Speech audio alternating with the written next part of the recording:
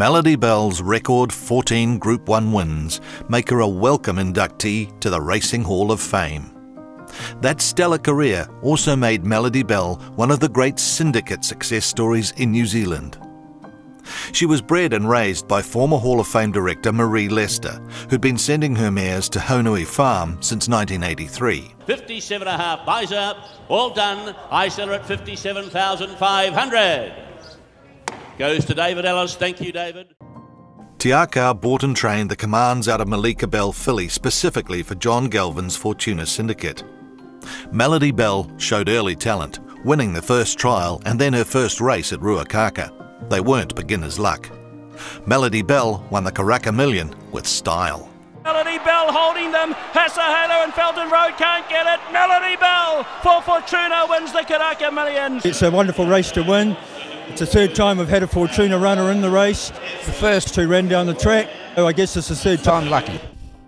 She backed that up with her first Group 1, the Manawatu Sires Produce Stakes. The stable knew they had a champion and nicknamed her Valerie after Olympian Valerie Adams. Melody Belle justified the moniker with the two-year-old Horse of the Year title. That success was significant for a group of 34 people spread across New Zealand. They were the Melody Belle Syndicate. She blossomed in her four-year-old season, starting at the Hawke's Bay Spring Carnival.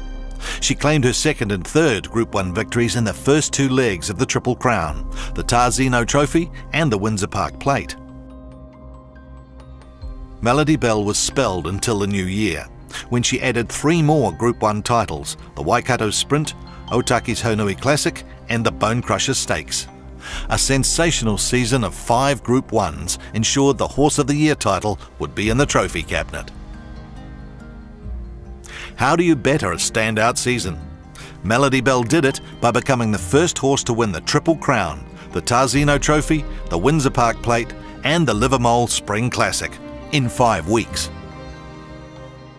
Here it comes, nine Group 1 wins, and she is going to be dancing to her destiny. Melody Belle wins the first in the Triple Crown. Great the way it's worked out, and Jamie Richards has done an incredible job training this filly uh, to win all these races, and it's one of the great days that I've had on a racecourse. That was a record nine Group 1s in New Zealand. It was time to snatch some Australian glory in the Empire Rose Stakes at Flemington. But now Melody Belle is flying home. Aristia at the 150. Here comes the Kiwi star. Melody Belle up to Aristia. Melody Belle takes Aristia. What a body mare. A mighty mare. Melody Belle has won it by a length and a quarter Aristia. Uh, mate, to be here at Flemington, one of the great racetracks in the world, on one of the best race days of the world, and for us to come over with New Zealand with our body mare and win a, a Group 1 race, it just doesn't get better than that. Another four Group 1 victories in her five-year-old season cemented Melody Belle's second Horse of the Year title. The Fortuna Syndicate always indicated that Melody Belle's sixth season would be her last.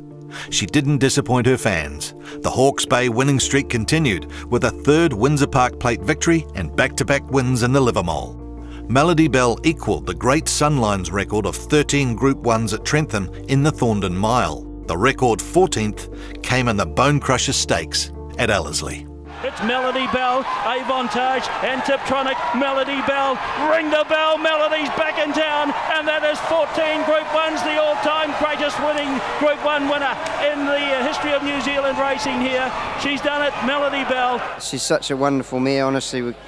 Words can't describe what she's done for my career, uh, what she's done uh, for Fortuna, for Te Akau, for everybody concerned, and we can't thank her enough.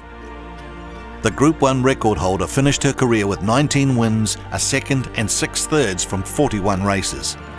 Those victories over five seasons, ranging from sprints to staying races, earned $4.2 million. The syndicate rejected offers to buy Melody Belle while she was racing. A new career beckoned in retirement. Melody Belle went to Australia's Magic Millions, where the Yulong stud bought her for $2.6 million. Her first foal was a healthy filly out of Written Tycoon. Melody Belle will long be remembered for her record-breaking feats. A champion horse who took many people along for the ride of their lives.